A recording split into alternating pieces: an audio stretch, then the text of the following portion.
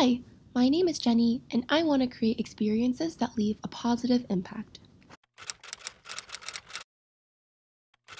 Marketing and healthcare are two areas that I'm especially interested in researching. Marketing because I love strategizing, solving problems, and designing beautiful interfaces.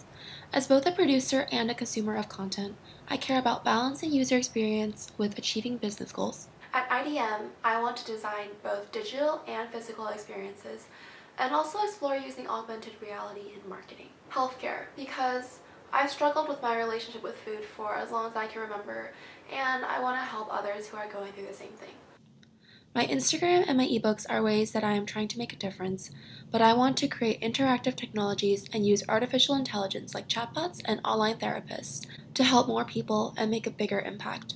The IDM curriculum covers topics I'm passionate about, skills I'm eager to learn, and will encourage me to think outside the box. I want to create a future where everyone has the tools they need to live a happier, healthier, and more beautiful life. I would love to do that in the city that inspires me more than any other place in the world.